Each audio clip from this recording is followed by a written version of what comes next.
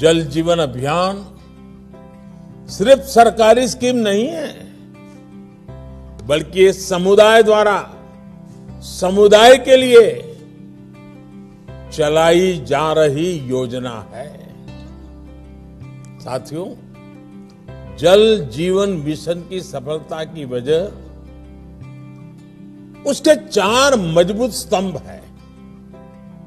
पहला जन भागीदारी पीपल्स पार्टिसिपेशन दूसरा साझेदारी, हर स्टेक होल्डर की पार्टनरशिप तीसरा राजनीतिक इच्छा शक्ति पॉलिटिकल विल और चौथा संसाधनों का पूरा इस्तेमाल ऑप्टिमम यूटिलाइजेशन ऑफ़ रिसोर्सेस भाइयों और बहनों, जल जीवन मिशन में जिस तरह पंचायतों को, ग्राम सभाओं को, गाँव के स्थानीय लोगों को शामिल किया गया है, जिस तरह उन्हें अनेक जिम्मेदारियाँ सौंपी गई हैं यह अपने आप में अभूतपूर्व है।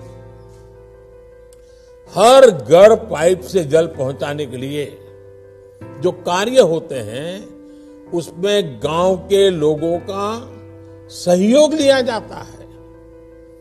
गाँव के लोग ही अपने गाँव में जल सुरक्षा के लिए विलेज एक्शन प्लान बना रहे हैं।